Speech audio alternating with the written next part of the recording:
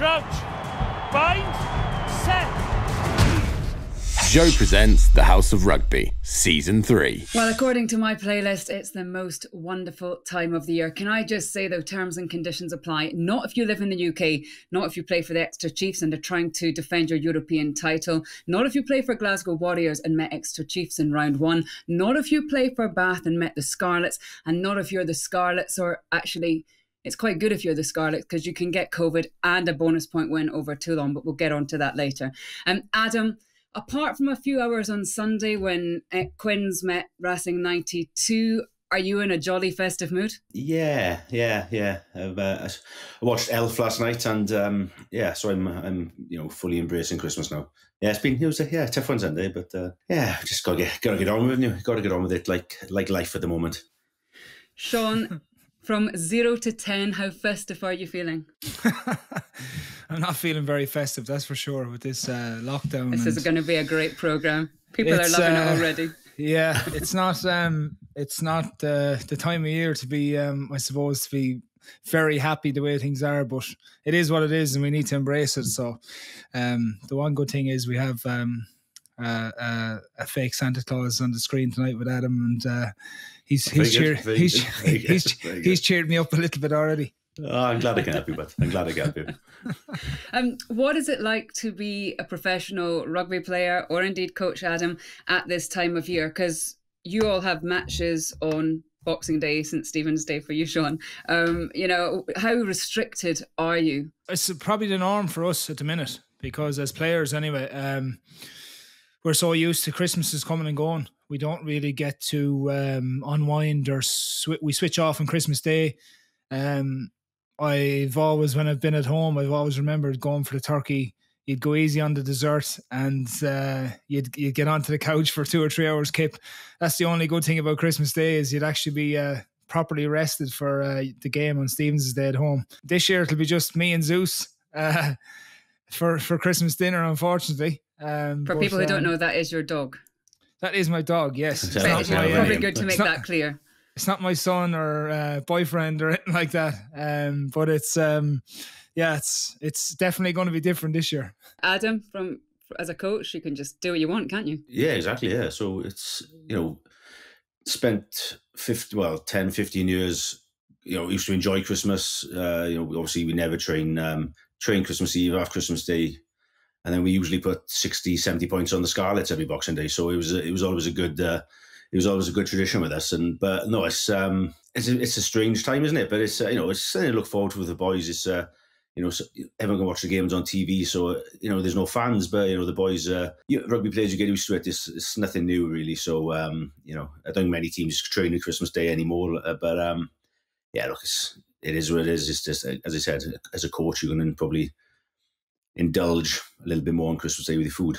Uh, before we look forward, um, let's just take a look back. Adam, I'm sorry to have to sort of bring it up. It was a tough Sunday for you against Racing 92, wasn't it? Yes. That's the polite way. It, it, it was. It, it was. They, they're obviously a very good team. Um, yeah, you know, they're one of the best sort of top five teams in Europe, or top three teams in Europe, and they so and uh, yeah, look, we thought we played to our best uh, or to our potential, but uh, and they didn't allow us to. So you know, there's a, yeah, as I said, there's a reason they're so good. They got some unbelievable players. Um, they were missing shot, but you know, you when you got like Zebo, when you got you know Kurtley Beale, these type of dudes, it's uh, you know, it's going to be a tough day. And you know, big four pack as per most French teams, and yeah, they, yeah, look, they've um, they uh, it is what it is, and uh, they won handsomely, and uh, we just got to pick ourselves up and look forward to Bristol. So it's not much more we could do really. And Sean, London Irish are doing well. They've got the added bonus of you turning up to play for them this weekend as well. Yeah, we've had two good um, two good results against two uh, big French teams. Um, the first day was a bit of a, an easy one for them, but last weekend was a bit of an arm wrestle. They were massive, uh, massive pack last weekend, and uh, the boys played some nice rugby. Um, and we've been improving. We've been improving every week, which has been, um, you know, a good thing. And um, you know, really looking forward to this weekend now big challenge against Bath, and we have a few lads back, so we've um, we'll have a strong uh, contingent heading that way on um, Stephen's Day or Boxing Day, as it's known here. But yeah, it's been uh, it's been good and excited now to get back this week, and not really too worried about Christmas. More worried about getting the getting the win at the weekend, hopefully. So we've got plenty coming up for you on House of Rugby tonight from our end of year awards. Nolli Waterman drops in to talk about mental health and the transition from player to media and player to coach. And also we'll hear from Alex Goode from Japan. But first of all, let's just take a look back at the weekend because four matches were cancelled in the Heineken Champions Cup. Exeter Chiefs were affected, Glasgow were affected, Bath and the Scarlets. Uh, Jonathan Davies, it was a very odd one with the Scarlets. Uh, great to have you with us because there's lots to clear up. Um, so tell us how where it started. You guys had a great win over Bath, but then had a positive COVID test. Is that right? Yeah, yeah. So one of the boys uh, came back tested positive, and then obviously he was taken away from training, and the close contacts were uh, told to isolate for 10 days. So changes were made to the team, and the team was named, um, and all protocols were done by, and the game was cleared by the EPCR then. So um, we made changes, we adapted, and yeah, then there's me driving in on Friday afternoon, getting ready to play um, Toulon, and then changed quite suddenly then. But Toulon had spoken to the EPCR a couple of times in the week, hadn't they? They would they were concerned about the safety. They flew over. They did their captain's run on the Friday morning, and it was still on at that point. Yeah, so Friday morning they come to the ground. They do, I think, a walkthrough, and then next thing you know, we're starting to get whispers as we're driving down um, from the other boys who, um, who have the injured boys who have been training in the day, and the, the first that Scarlets heard about it was the bus driver told the security guard at the ground that he was driving too long back to the airport. So no official announcement was made. So um, we were just we weren't aware what was going on then. So we were still driving into the game until it was you know told it was called off or not. So there was I think there was a lot of confusion around it all. But yeah, it was just so strange. Um, don't know what it's like. You know, I've seen a lot in rugby, but that was probably the weirdest thing heading to a game and I probably passed the Toulon bus as they were going to the, the Cardiff airport. What? Why did even bother coming over then? I, like, I did, it, did what was the what was their thought process? I wonder.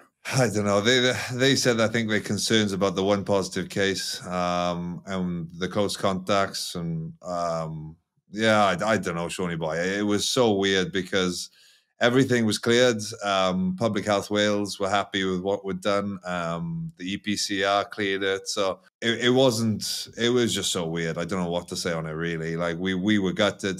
Do you reckon they were? They, it was a plan. I think it if was. They, if if they show up and like um you know show face and get there, and, oh all right, and then they it was always going to happen. And they get the, they get the points now, I guess they. No, we got the points. We got five points. Oh, you got the points. Yeah, because they we. Well, it's even more pointless. I'm coming over then. I know, I know. That that was the strange thing. Like they just they wasted probably I don't know how much in chartered flights coming over here, hotels and everything, and they just don't bother playing. You know, it's. I don't know if I don't know if that's their biggest worry is it their owner. I know with their with their salary bill is probably not not the biggest concern, but it wouldn't be a ripple in um in their owner's bank account. I'd say no, you wouldn't see it. yeah, he's not too bothered. That doesn't make any sense. That's strange. It was strange in the first place, I suppose, if you were looking in at it, that um, that Bath were, was cancelled and then the Scarlets was still going ahead. Because even on the Saturday, you guys were down as postponed. You were never straight straight away cancelled uh, because I think you were all offered an extra round of testing or something to try and appease Toulon. Yeah, and that was, I think, the, the most frustrating part because the EPCR, all public health, um, were happy with what we've done, our test results. Um, but then Toulon were almost like they were weren't happy with what was done and saying that things were different, done different back in France. And we got frustrated the fact that they were offered a, a Sunday fixture where we turned up to play when everything was cleared. And clubs shouldn't really dictate what happens, you know. And it, it felt like that was trying to be done yeah and you know it was it was unfortunate because the boys were looking forward to like you know a, a, tough game. It's just so strange. It's unfortunate really that it's, it, it came to that. But sean it's also unfortunate for a side like bath or a side like glasgow who because they ended up in close contact with a team like exeter that had 17 positive tests they then are on the wrong side of a bonus point victory aren't they? Yeah it's it's it's not done probably um I don't think it's that fair actually. The way the Champions Cups uh, is done. Um, to be fair, I know Foxy, you'd be happy with your five points, but I think I think Prem has um, a little bit of a better understanding of it. If if, if um, the side who who's tested positive for the case gets rewarded two points and the and the other team gets rewarded four points, it's not as if it's a it's done on purpose or there's um, you know in this pandemic anything can happen, but it is very unfortunate, but yeah, for Bat and for all their players and um, everyone else involved, having to isolate for 10 days isn't ideal either. And it's not a good part of your training program when they have to come out of um, isolation probably today or tomorrow, I think today maybe. And then they have a couple of days to prepare for another big game in the Prem. So it affects everybody. Luckily, it's against you guys. Yeah, luckily it's against us. And, uh, it's, it's easy one. Yeah. yeah, we're not. Uh, we're not. Um, we're we're preparing as if um, you know they're at they're at full whack. But um, I'm sure to be well up for it anyway. But it is it is uh, frustrating for clubs um, who do um, you know come out of the, the wrong end of the wrong end of it and and uh, they suffer. And the Champions Cup, it's pretty ruthless there at the minute compared to um, you know again what the Prem is going to do. It also affects um, other uh, leagues as well because in Pro 14, the Edinburgh match is off because Glasgow can't play that one because they don't have the players to do it. So it's a knock on effect. Um, Adam, do you think it's going to end up affecting the credibility of the competition? Oh, it'll have a big asterisk next to it, I think. When it? Oh, look, it's, it's hard. It's, it's, it is tough. So I think you have to kind of take everything with a little bit, not, not a pinch of salt, but, you know, everything's been affected. The whole, you know, so you've got to as long as long as there's rugby in the field and the you know there's games going on, there'll be a big asterisk next to it. And you know, it's just is this going to be one you looking looking look back in years to come, saying that was the COVID year, and it's you know. You know, the Scarlets might win it, and they haven't even, you know, they they didn't even beat Toulon, so you know they got a bonus point win. So, which would pain me to see, but um, no, it's it's always it's it's a tough one, isn't it? Um, no, don't want to be too, but you know, as long as everyone is healthy and you know and everyone's looked after properly, then you know, it's all you can ask for. Are we going to spoil your Christmas bomb when we beat the Ospreys on Boxing Day? Do you reckon? I, I don't think I ever lost the Scarlets on Boxing Day. Are you sure? Well, I, I, didn't win many. I gotta say. No, you you definitely didn't win many against us.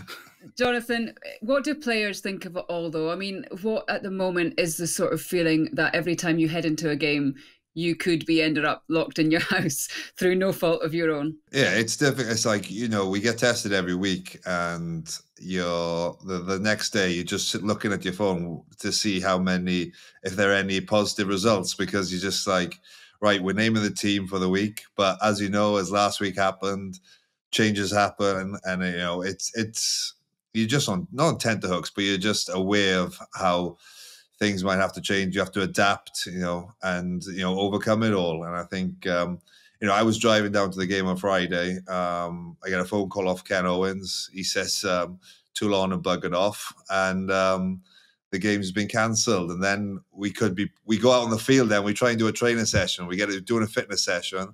Halfway through, the coach is running on the field. Oh, we could be playing Sunday now. So we're all like, oh, come on, someone make a decision. Yeah. So it, it just seems that you know they're, they're trying to make sure that everything's in place but you know I don't think anyone's planned for this uh, this pandemic. I was I was just going to say it. Like he, he Ken Owens will be the future president of the WRU without without a shadow of a doubt. He's a board member. Years, he's a board member. He's completed rugby. He's a board member of the Scarlets. You know, he's the chairman of um, Welsh Rugby now. You know, he, he loves it. He's the best politician I've ever seen going around um, in a function in a function room after the game, even with Irish and English. He's, he's, he's he knows all hard. songs. yeah.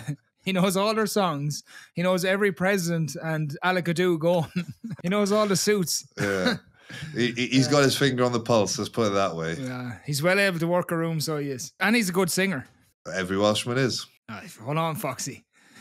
You haven't a, you haven't a tune in your head, so you haven't. So, Foxy, you're playing Boxing Day as well. We were just speaking to the guys at the beginning there about their plans. Uh, what's your Christmas day like? So we made a decision as a family to stay away from each other this year. So um, I managed. We did that last week before the announcement. So managed to get my turkey uh, booked in. So Christmas Day in the house um, with the wife and the dog, and then go down. I think we're playing. It's meant to be Osprey's home game, but we're playing in Parc y Scarlets, which is another uh, strange thing going on. It's it's just a crazy year. So go go down, beat the Ospreys, and then um, kick back and enjoy yeah. a few beers on Boxing Day. Yeah? So about to be, Adam has left the conversation. Yeah, yeah, yeah. they always they always talk a good game, don't they? To be fair, this is that's actually true, Adam. I agree with you.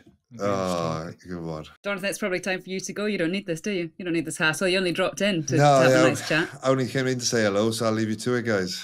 Thanks very much. Cheers. We'll thank see you. you soon. Have a lovely Christmas. Cheers, see you, Foxy. Cheers. Thanks very much, John. Um, Adam, this was always going to be an odd Champions Cup anyway, with the pools and the restructuring that they've done to try and fit everything into the rugby calendar. You could be in a situation, or a team could be in a situation, where they win all their pool matches and still don't even make it through to the quarterfinals. Such is the life, isn't it, at the moment? It's, everything's a bit weird, everything's a bit strange. You know, I think a lot of teams have known you have to win four games to go in. But as you said, that might not even happen.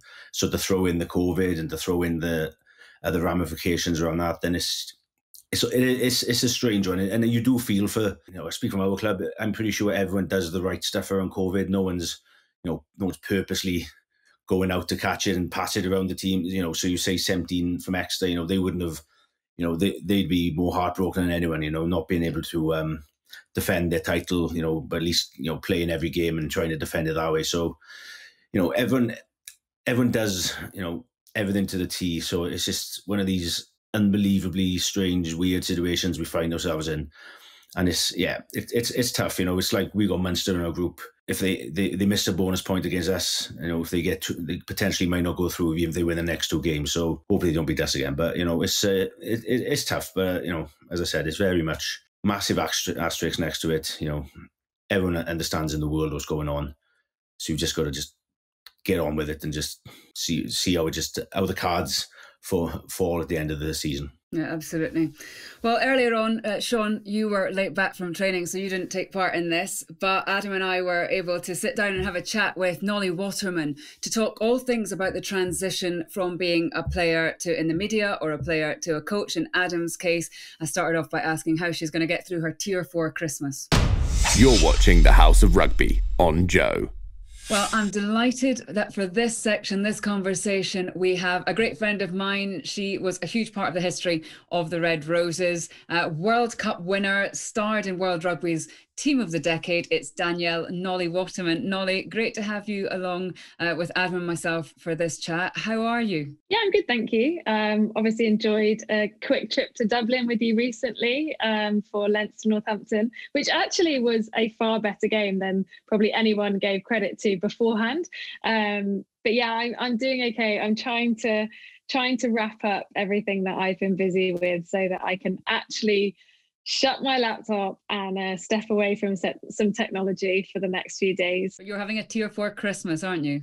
yeah, I am. I'm, unfortunately, I was so desperate to get out of London and to get back to the West Country um, to see my family, but Unfortunately, that's not um, going to be the case uh, thanks to our new rules. Um, but I know we're all kind of trapped in our respective countries, etc. I think you more than anyone, Lee. No one in and no one out. I think at the, the moment. Hostage situation. so what we're going to talk about here is the transition from being a player to either a broadcaster or a coach. I know you've had many hats, Nolli. Adam, you went from playing to coaching. Um, Nolli, we'll start with you. Just tell us about how easy, how difficult that transition was. When you decide to hang up those boots and look for a different career, how tough was that? I think from from my perspective as a female player, probably one of the things that was easier was that transition than maybe Adam and the boys would have felt because for 12 of my 15 years as an international, I actually worked uh, full time. So I had been in the big wide world, probably not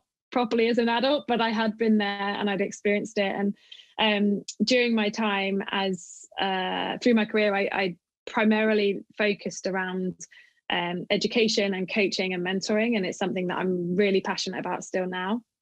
Um, helping younger players um, and just young people in general.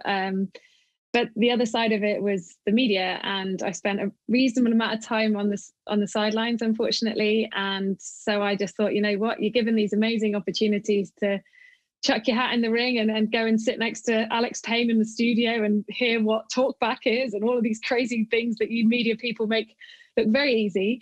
Um, and I don't know, it, it it was never going to replace rugby, but at the same time, the thrill and the nerves that I get pre commentating, um, I genuinely can only describe them as test match nerves. Like there's nothing else that have, has managed to even get close to that.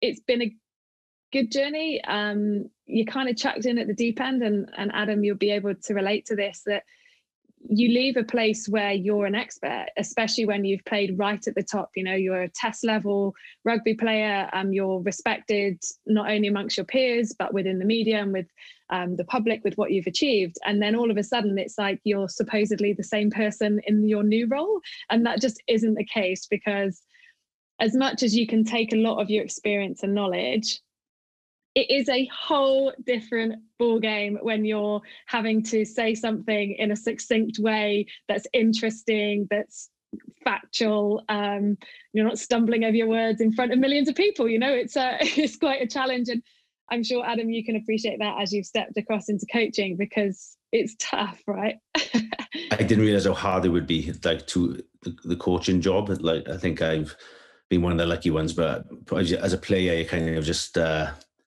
you look at you look you look after yourself, you look after your body, you do a bit of analysis, and um, you know that's pretty much it. Don't play the game on the Saturday, but coaching is it's a oh, massive eye opener to me. It's been um, you know I've enjoy, i am enjoying it. It's a much more difficult job than actually playing for me, but uh, look, it's I could have, well, I, would, I wouldn't have worked it down a mine like my grandfather because the mines were shut. But, you know, there's a lot worse job and what lot harder jobs out there. So, uh, you know, I'm pretty lucky to be in this one anyway. From what you've learned from your coaching, Adam, do you think back to when you were playing thinking, oh, I should have been a little bit nicer to those coaches or were you always pretty good? Yeah, I was all right. I was, yeah, I was pretty good. They, they didn't, yeah, they didn't like me for some reason.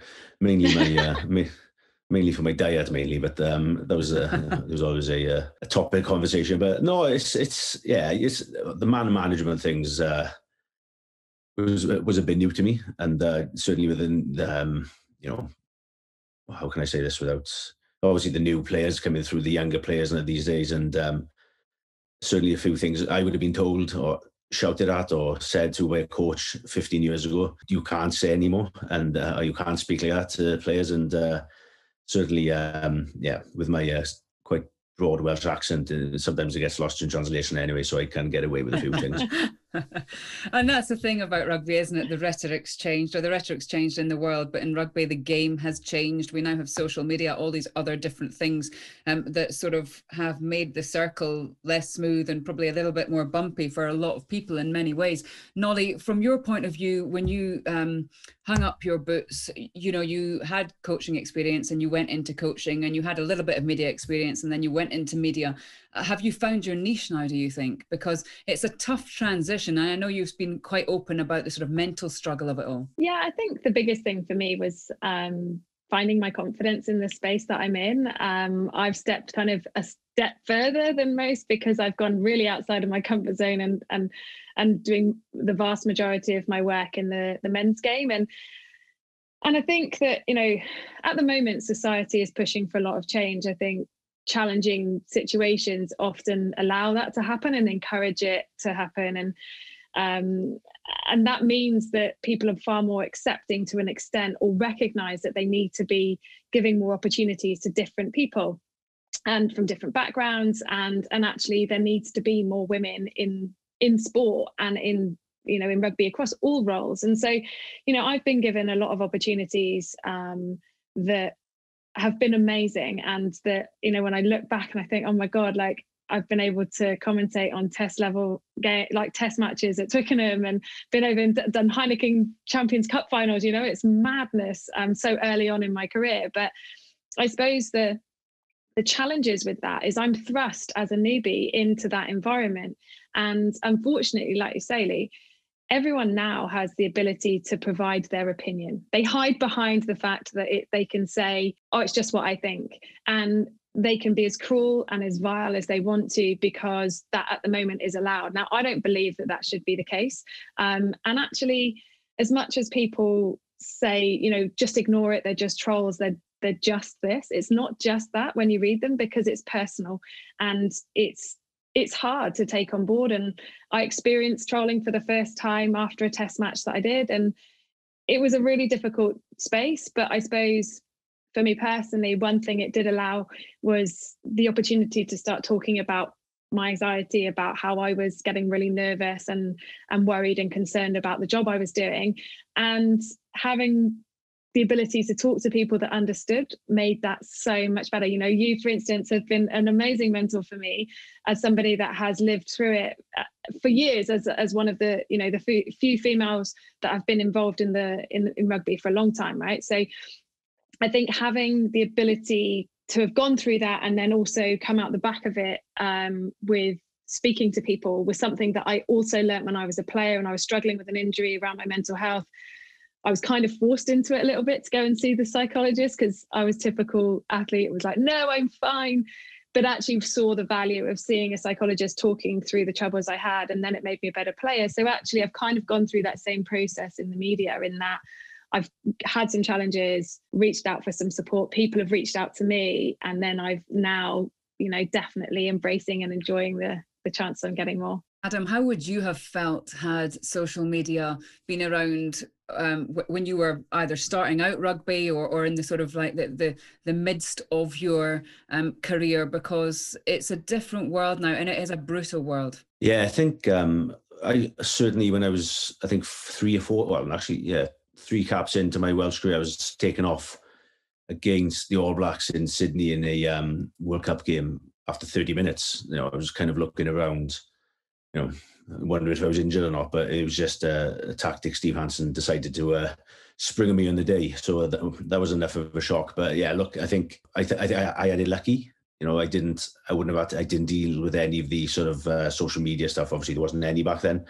But I, you know, the, you obviously get a bit in the paper, and it's it was tough for your parents and stuff. But um, I didn't, I wouldn't have had to deal with the same sort of, um, for one of a better word, abuse or you know, just some, you know, sometimes you, I'm sure you get lovely people say nice things, but um, and a lot of the, you know, back then a lot of it was very nice, but um, yeah, I didn't, I didn't cope with it particularly well. I think um, it happened to me three, uh, four, four test matches in a row, and um, I got injured in a uh, game against Munster on a, Saturday in the sort of the follow weeks in the Six Nations, and I got injured. and I was glad. I was glad I was injured I knew I'd have to. You know, if, if I was involved in the next Test match, I'd you know I knew it would happen again to me, and I knew I'd be you know go through the same sort of humiliation of um, trudging off after half hour. You know, because it was it was a sort of hadn't happened before sort of type of thing, but.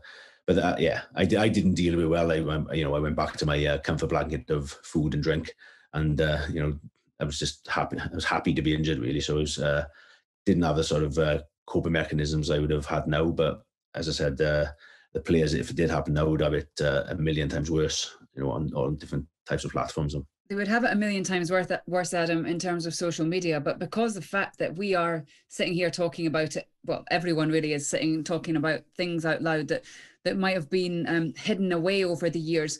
What's it like for the young players coming through? Um, you know, you can talk about it from a Quins point of view, but they'll probably always be on their phone, always be looking at social media.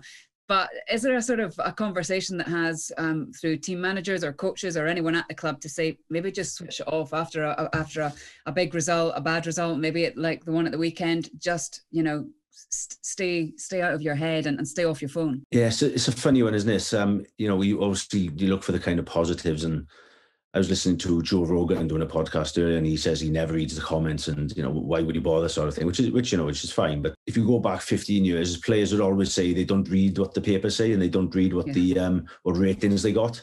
But 100% the players all always read the ratings. So it's kind of like you want to hear that, even you know, obviously if the Welsh journal is giving you a three or something, it's not great, but but it's not quite the same as when you got some you know anonymous person like slagging off. So we I think we're good. I think the RP is amazing. You know they do some great stuff, and um, you know the, our um, player welfare guys, uh, you know they're fantastic as well. So I'm they spend a lot of time. You know the academy boys coming through, and you know it's it's it's tough for them. You know, especially someone like I guess Marcus, who's Marcus Smith, who's you know, who's been in the first team since he's sort of 18 and, you know, he'll get a, a lot of attention because he's, you know, a fantastic player. And, you know, but he's in that sort of position where the outside half where he's like the sort of focal point of the team. So, you know, he's gonna he'll have it worse than most. But you know, he's you know he's a, again he's a level-headed kid.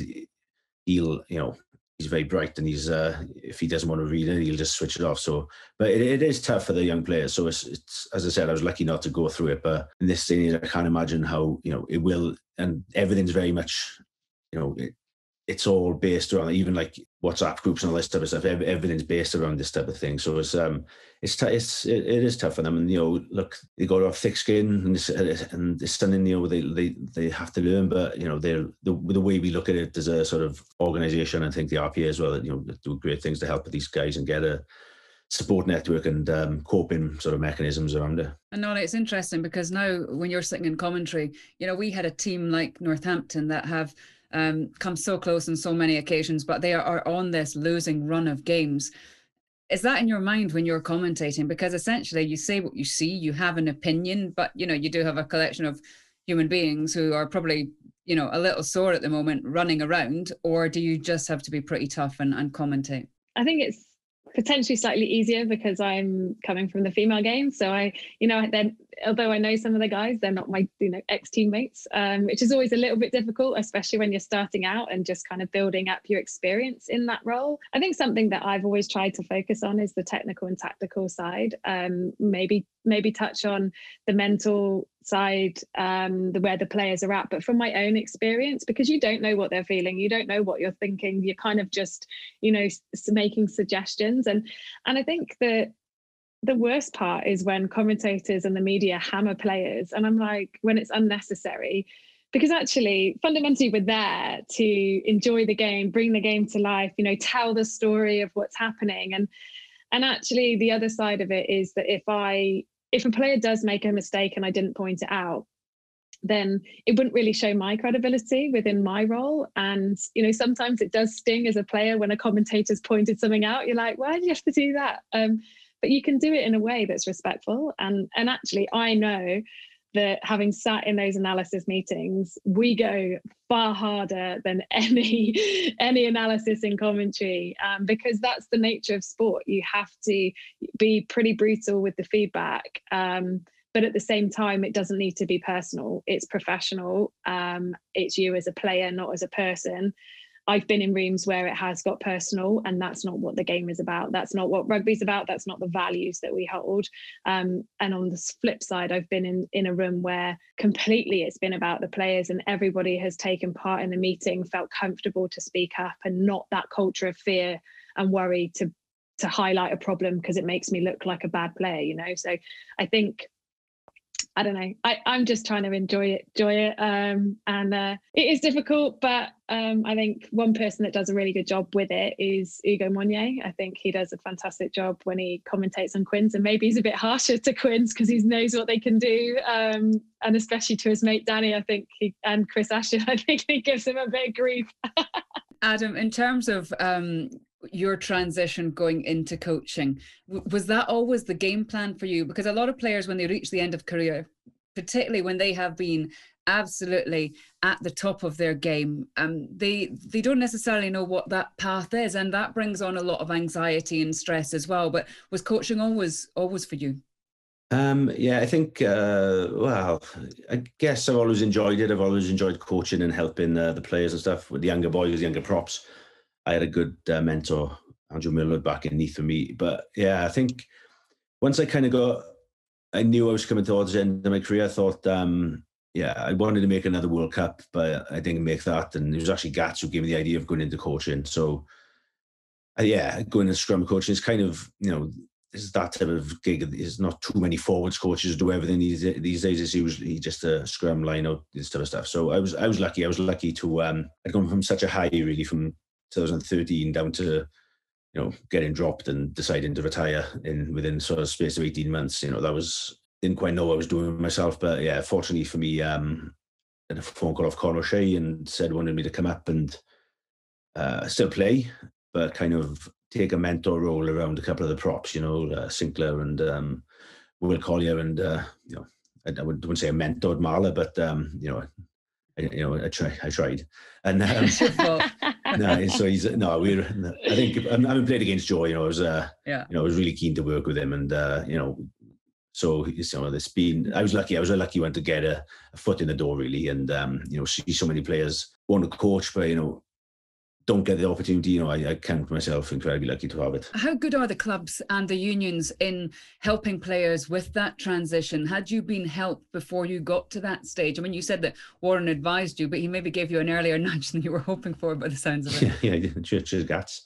Um, yeah, he, yeah, I think there's usually used to be, back in Wales, you'd have a guy knocking about the place, you know, who, but moves more like a guy called Alan Davis, great guy, who played for Neath. Um, you know, scrum half, good player uh, back in the sort of late 70s, 80s. He was kind of, but more off field. So he helped a lot of boys with businesses and uh, did some great things with him. Uh, since I've been in Quins, you know, he came to work with Quins and we got a guy called Andy Sang and uh, when the sort of off field stuff they want to do and they give you that chance, you know, there's a lot of our boys, you know, whether it's uh, university courses, you know, little businesses, you know, working, you know, working in the city uh, a day a week, this type of thing. So it's, uh, you know, London's obviously apart from now, but you know, it's, it's a great place to sort of get these little um, networking things done. So uh, yeah, our, Quins is, uh, is it's you know different level to what I've been used to. Nolli, you've done a lot of mentoring and coaching as well, as you were saying. Um, and I, I know because you've talked about it quite a lot, how much you would sort of advocate people to have a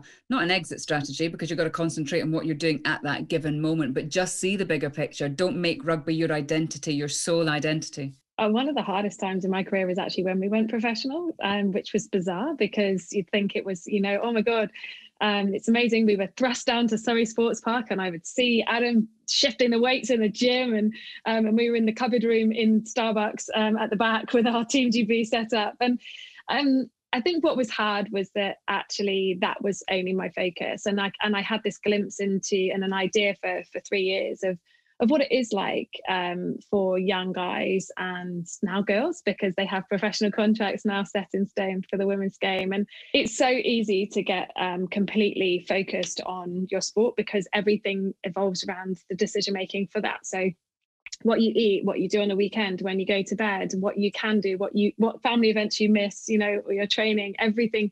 It is a reasonably selfish existence to an extent, which is a a negative a negative way of putting it, but actually that ne- that needs to be the case because you have to be as good an athlete as a rugby player now, um, and your body is your business. But actually, one of the most important things is your mind, and something that I've worked on recently is around what is on offer for athletes away from their sport and making sure that it's not just a tick box opportunity it's actually it has substance it has meaning um, and a study has been done recently around um, athletes that have done things outside, they've had purpose, they've had some level of impact um, in their, their normal lives as a person, um, and then they've been more successful as an athlete because of it.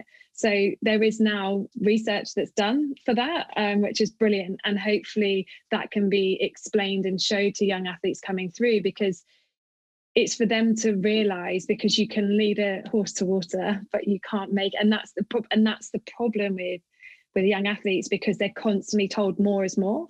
And what's the culture within their sport? What's the culture within their club and their environment with regards encouraging that support that they should be reaching out for you know to to to ex- to expand their horizons and to look further and beyond um yeah. So I, I think it's it's great to hear adam saying about the stuff that's going on at quins because um, it definitely wasn't the case during my early part of my career, but has something come in. And you mentioned about mentors and and Gats for you, Adam, to set, suggest about coaching. Lee, you know, you've stepped in and helped me from media perspective, and I think that that's what we can all do for each other. Um, you know, the more that we can help each other in this space, the the better the game will be. No, always a pleasure. Thank you so much for your time. Um, have a lovely Christmas, Tier 4 Christmas, but have a lovely one regardless. and I will see you um, for Champions Cup in January. Thanks so much. Uh, thank you for having me and uh, enjoy your Christmas too. You're watching the House of Rugby on Joe.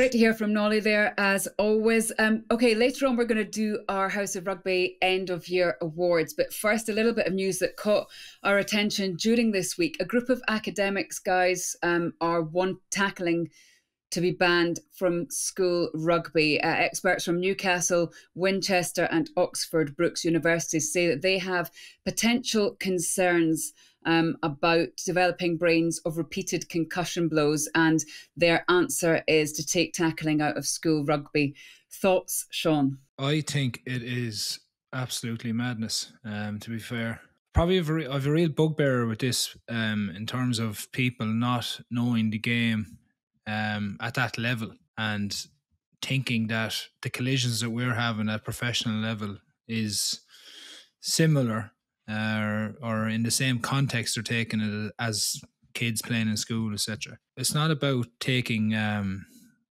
you know, tackling out a game. It's about making sure that coaches are coaching them right techniques and um, to do it in the safest uh, way po- way possible. It's you know this this thing of actually taking tackling now of rugby is that's what rugby is. Rugby is a physical sport. It's tackling is a part of the game. It has been since the game began. You know, you don't see you don't see other sports taking um, moving the cricket ball to a, a softer ball in case someone gets hit with it. Or you know basketball or you can't you can't uh, charge at the basket and knock someone over when you're going for a slam dunk or something. You know all these things are just parts parts of the game. It'd be like taking it'd be like taking the the sticks um out of the GAA lads at home in Ireland. You know giving them some plastic toys to play with and to hit the ball around with um, so it's it's it's absolutely ridiculous in my eyes, anyway. The school rugby is when you learn to tackle and you learn to build up your skill, you learn to build up the resilience your body against you're tackling. So if you're not tackling until you're 17, 18, or you know, it's like for me, surely you're, you're going to get more injuries when you have to start tackling when you haven't actually learned to do it. You know, when you when you become live against fully grown men. So this is when you you know this is the time to build the skill if you're not good at it. Like Sean said, you, you know you can work with a coach to become a better tackler. You know, it's like you know like a passing. Obviously, you know you get better passing, but you know tackling's you know it's a fundamental part of the game, isn't it? This you know if you can't tackle they score tries and you lose the game. So, but yeah, it's it, it doesn't make sense to me.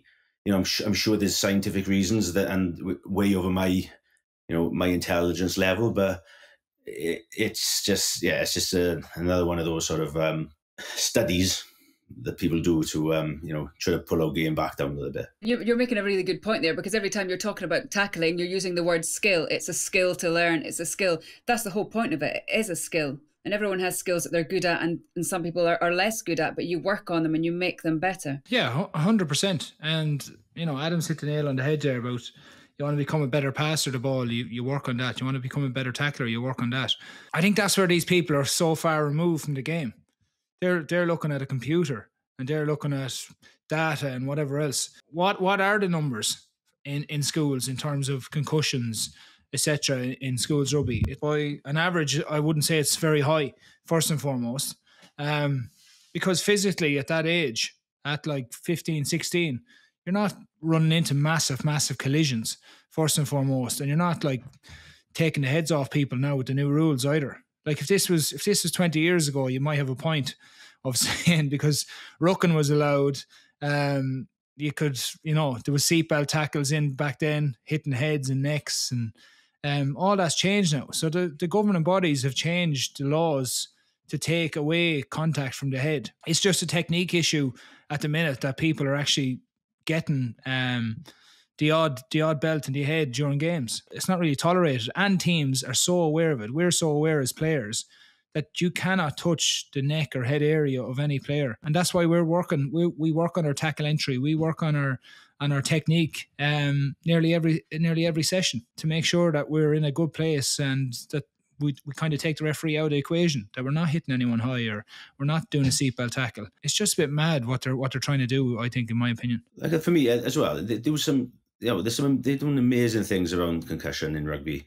You know the doctors on the side of the field. You know they they've got license to pull a player off as soon as they see anything they think could potentially be you know, concussion related. And obviously, there's a lot of stuff in the news, isn't there, uh, these days? But, you know, I'd like to see these guys come to, you know, a, junior club.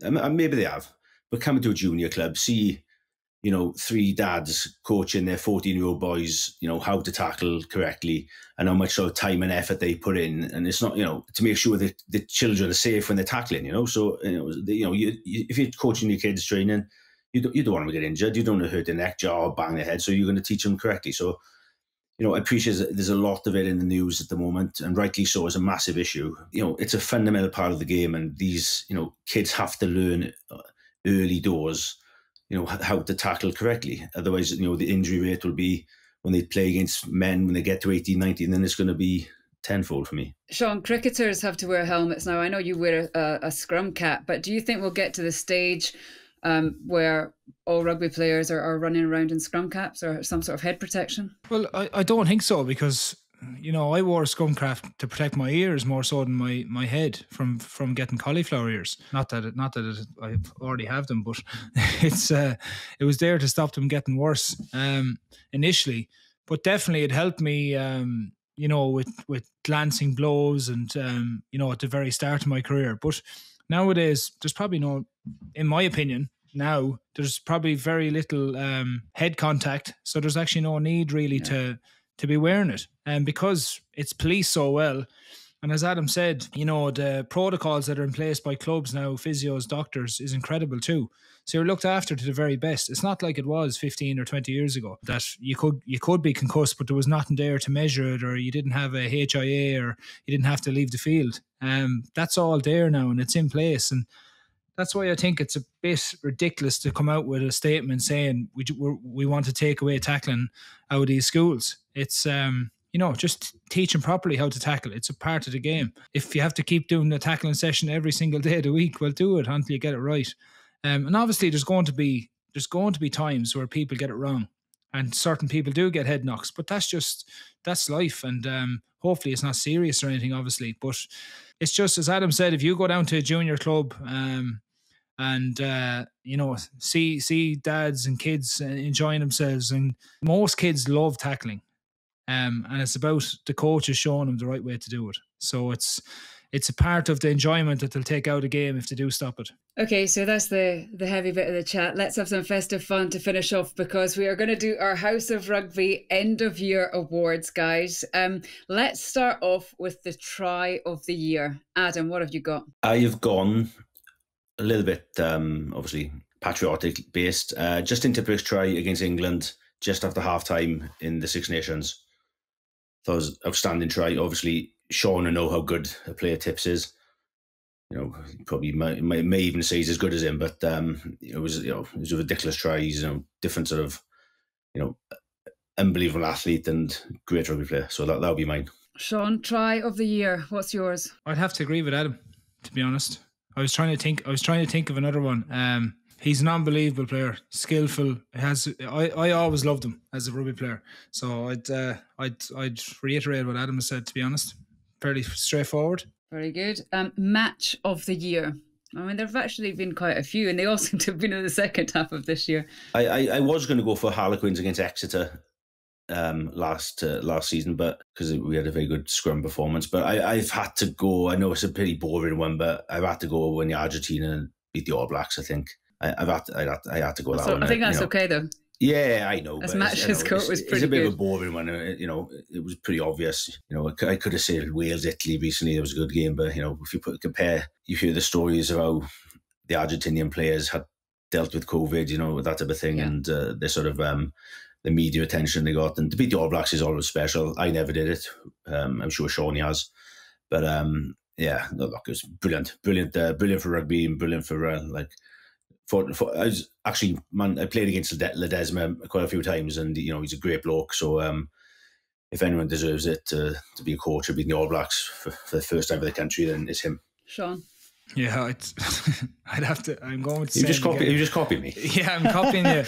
I'm copying you because it is. It's such a special. I think it's such a special thing and a special story. And again, when you look back at um, some of the the video footage of the players um, in their hotels and, and in the hotel first, but at home first and foremost, doing their workouts, um, getting getting doing laps of their garden.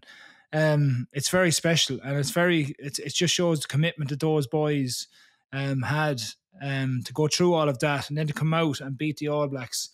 And they hadn't played a game. I did. I, I'm not sure how many days it was, but they hadn't played a Test match in. Does anyone know the actual figures for that? They hadn't played a Test match in ages, anyway. a And long time. out, yeah, a long Since time, and to, Cup, and to come out, to come out and perform like that against the All Blacks, um, was phenomenal. And um, them, I, I just loved looking at the emotion of the whole lot of it.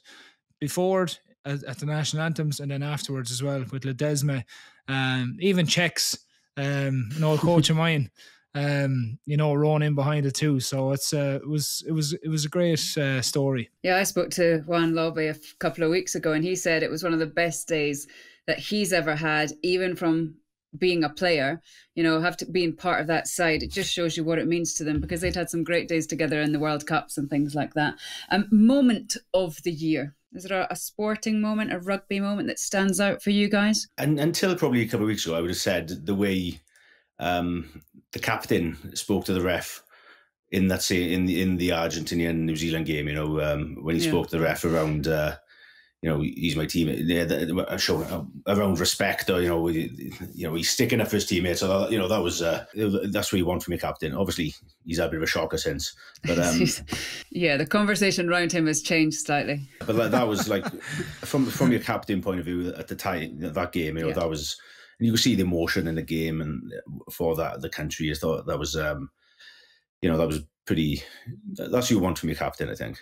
Not the not the other stuff. Not the other stuff. Sean, is there a moment that stands out for you in rugby this year, or even for yourself? I think I think there's been a few. To be fair, I think with with everything that's happened with COVID and um, the whole year the way it's gone, just getting back playing, I think has been pretty special for a lot of a lot of people as players, and now definitely for me. You you kind of you underappreciate um, how lucky we are at times um, to be in this position and to have a job and um, to do what we love doing, uh, whether it be coaching or playing. And you know, it's been a very bad year for a lot of people in terms of um, you know losing their jobs and uh, you know just a lot of change. So I think I think the whole year has been just had its special moments. Um, playing my first eighty, I think in two years was was a special one for me. To be fair, even though I pulled my calf during it, but um,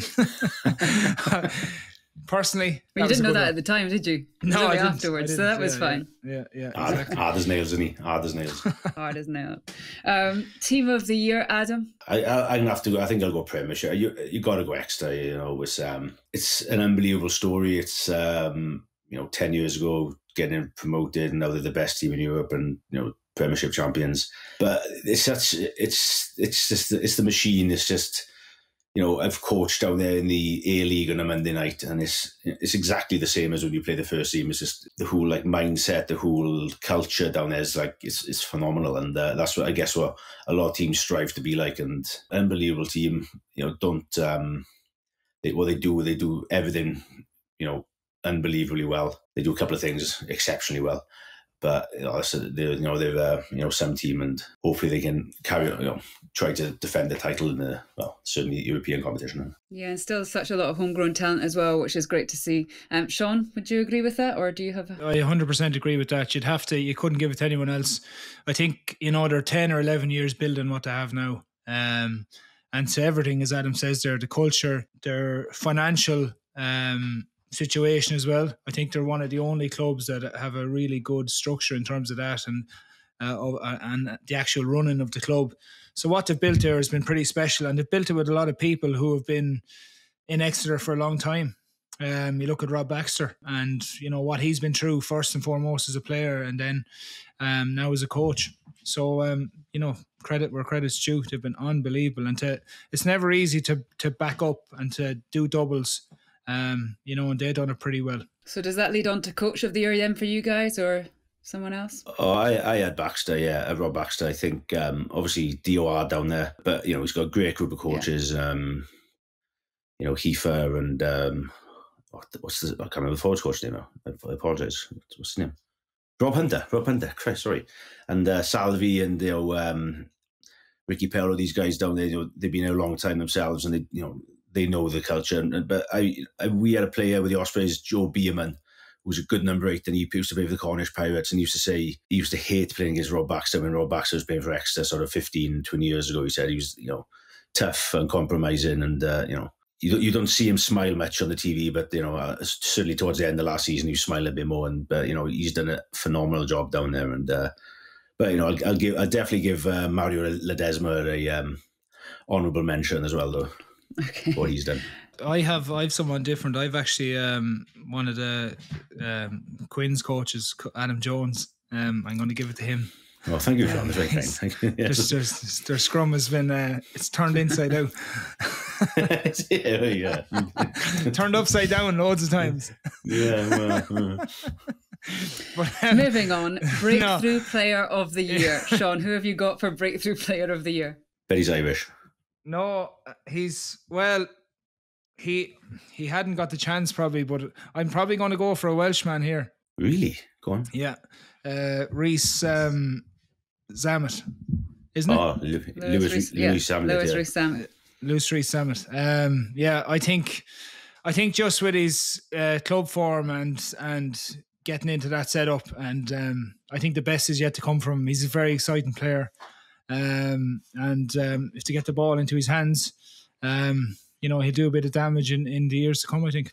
I've gone a little bit left field. Uh, he's been around a while, but for how he's come back from, you know, not playing rugby for a long time and come back to starting head prop for Scotland, you know, probably in a lot of people's um, Lion squads. Uh, Rory Sutherland, I think, um, tough boy, you know, he's done, you know, fantastically well to, as I said, come back from some, you know, a lot of time out through rugby. So Yeah, and three years back- basically. yeah, and, and to come back to the form he has, and um, you know, it's obviously being a prop, I got I got a soft spot for him. So I'll, I'll again been around a, been around a long time, but you know, he'd be my breakthrough player just for the way he's you know he's held Scottish scrum up really this year. And just to finish it off, your player of the year, Adam. Um, I'm going to go for the little French scrum half. Du, um, I can't say it's uh, Dupont. Dupont. Antoine Dupont. Dupont. Anton Dupont. Oh, brilliant. Like, again, a, a classic French nine. T- little dut of a guy, you know, but probably got a little bit more rugby than, um, you know, a bit more speed than like your Mignonis and your, um, these are the, the boys from the years gone by. But, um, what a, you know, what a player. Unbelievable. He, he just, I watched him play a few times at Tou- Toulouse and just thought, like, he, he's on a different level, you know, and, um, he's one of those French kids coming through the 20 system, and then you know the, a lot of them coming through the same time now. But so if he keeps on this rate of how he's going, you know, he's going to come World Cup time. It's going to be it's going to be the Dupont show. I, well, Sean, who have you got? Yeah, he's he's definitely one of them. But um, I have actually there's a toss up between two two locks, and uh, probably Maro Itoje for me and James Ryan for Ireland have been my two standout players for both their teams. To be fair, um, Itoje has been immense every single time he's put on uh, a rugby jersey in the last year. So he's been phenomenal, and James Ryan as well. And the both of them have been way ahead of uh, of anyone else in that department. So um, I'm gonna I'm gonna I'm going with a split decision here. Um, but the two of them are incredible rugby players, and I think they'll be the the Lions' um, starting test second rows. oh, so, you, so you're sitting on the fence. No, I'm not. I'm not. Yeah, picking- you're sitting. on- You're sitting. You know, that's not a Yeah. split decision. You're sitting on the fence. You're not willing to put your. I'm going. I'm going. I'm sitting on the fence. Yeah. Oh, right, okay, right. They're- they're As as- That's, They're fine, level. That's fine. That's fine. That's fine. As long as that's okay. We're calling this the awards. It's not like they're going to have to share a trophy because nobody receives anything apart from your praise, which is more than enough, I think. Um, somebody who, uh, someone else who wanted to appear on the podcast was Alex Goode. Now he is obviously out in Japan. Um, I'm not sure if Japan is ready for Alex or Alex is ready for Japan, but anyway, he's sent us a message. Merry Christmas, everyone.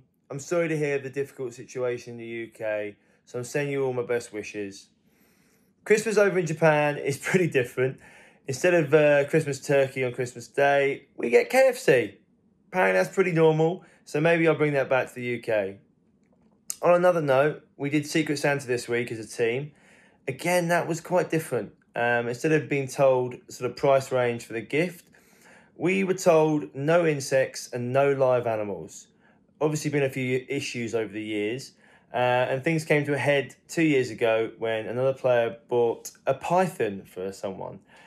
Yeah, that escalated pretty quick. Anyways, um, Christmas Day I will be training because Boxing Day I play Big Nose George Crew in a preseason game.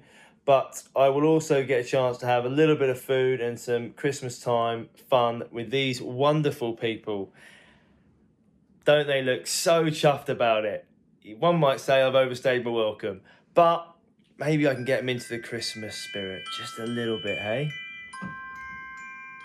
Merry Christmas, you filthy animals. Yeah, those people in the background uh, looked like they were loving having Alex in their house. If you've been listening to this as a podcast, I do implore you to go onto the House of Rugby YouTube channel and try and find that clip because it is certainly worth seeing. Gents, thank you very much for your time. It's been a pleasure. Have a lovely, even if it's slightly lockdown Christmas, and best of luck for your games at the weekend. Thanks to you at home for watching, for listening. We will be back in the new year. Let's hope 2021 is much At the very least, it's a Lions year, and we can look forward to that. Bye bye. You've been watching the House of Rugby Season 3 on Joe.